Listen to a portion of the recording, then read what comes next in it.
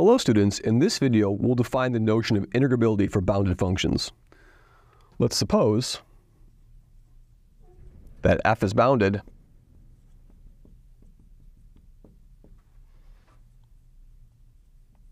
on the interval ab, closed. Okay? And consider a partition P which is a collection of points x0, x1, x2, all the way up to xn, where we have a is equal to x0 less than x1 less than x2 monotonically up to xn minus 1 less than xn, which is equal to b. So I'm given a partition of the interval ab. And all that looks like is the following. So I just take my closed interval ab. There's a, there's b, and I just find a sequence of points that increase from a to b, and that would be my partition. So that would be x1, that would be x2, and this point would be xn minus 1, and that's a partition of ab. We define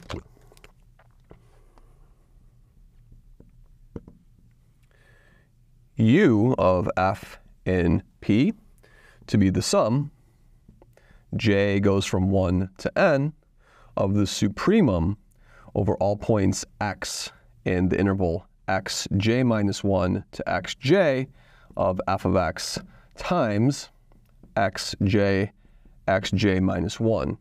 And likewise, we can define the LFP, which is the sum, j goes from 1 to n, of the infimum of x, x, j minus 1, xj, f of x times xj, xj minus 1. And let's figure out these uf and lfp are geometrically. So if we're given a function, let's just assume the function is nice and continuous. Here's the x-axis, here's the y-axis. Here's a and here's b. Let's be given just a partition 1, 2, 3. Like this, okay?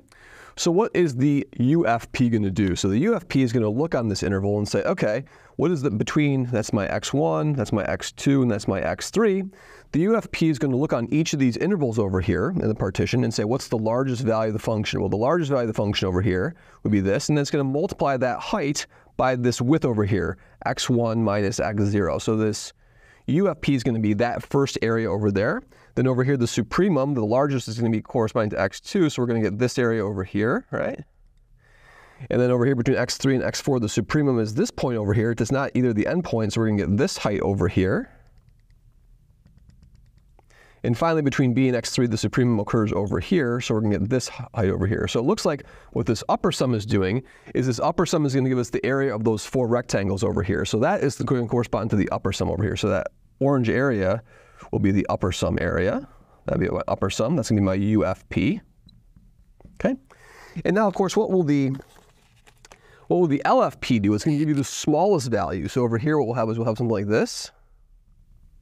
That green is going to be the smallest value in that interval. The smallest value in this interval goes over here. The smallest value occurs where? Right over here on this interval. And the smallest value occurs over here. So that's my LFP. Okay? So these UFP and these LFPs are called upper and lower Riemann sums. So what these are called are called upper and lower. This is an upper Riemann sum, and this is a lower Riemann sum. What we can see from this is we can see that clearly it's the case that LFP is less than or equal to UFP. And now what happens? Well, we're going to find a notion of what it means to be a finer partition. So definition, we say we say that Q is finer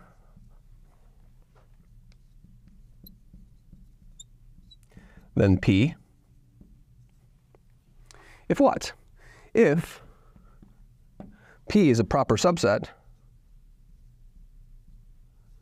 of Q.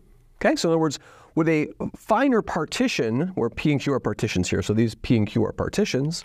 So of course, what will happen to a partition? A finer partition is just going to do what?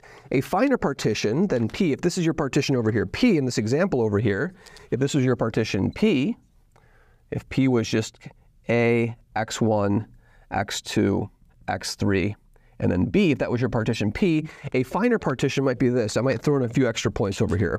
I might call this point over here, let's call that point Y1, that point Y2, it doesn't have to be there. I might skip that interval and have like Y3 over here, and I just have added more points into there. So my Q, the finer partition in this case, would be what? The Q would be A, Y1, Y2, X1, I missed X1 over here, so X1, X2, X3, Y3, and then B. That's a finer partition. Now, of course, what happens with a finer partition? With a finer partition, what's happening to the lower sum? The lower sum is doing what? Well, you have a smaller interval on which to do the infimum. So the infimum is going to get what? Is going to get, in principle, can be larger. And if you have the upper sum, if you're looking at a finer partition, what happens? The supremum can get what? Over a finer partition, the supremum can get smaller over here. So it's clear. So note, as an elementary proposition, we have this. If Q is finer than P, so Q finer than P, implies what? Let's look at an upper sum UFP versus UFQ. Well, as you get a finer and finer partition, the upper sum is going to go down. It's going to decrease over here. So the UFP is greater than or equal to this thing. So these things are going down.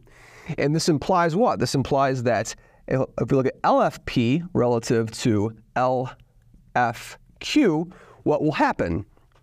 Well, as I get a finer and finer partition, the finer and finer partition makes the lower sum bigger, right? So these things get bigger than this, okay? So we have these things as I make my partitions finer and finer and finer and finer, the upper sums are going to be decreasing, decreasing, decreasing, decreasing. As I make my partitions finer and finer and finer and finer, these lower sums are going to be increasing, increasing, increasing, increasing. So what we're going to do now is we're going to say, we're going to define two quantities. Define U F is going to be the what? U capital of F is going to be the infimum over all partitions of UFP, the smallest of these values. And we're going to define LF to be the supremum over all these LFs and Ps. And we say that F is Riemann integrable if what? So here's our definition. Definition.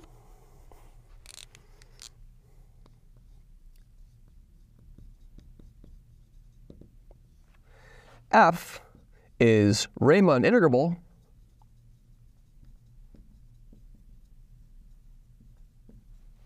on AB. And we're assuming, of course, that this f is bounded for this to make sense. f is Riemann integrable on AB if UF, this infimum, is equal to this supremum over here. So when those two quantities are equal, we say the function is Riemann integrable. In future videos, we'll see examples of proving that certain functions are Riemann integrable. Thank you very much.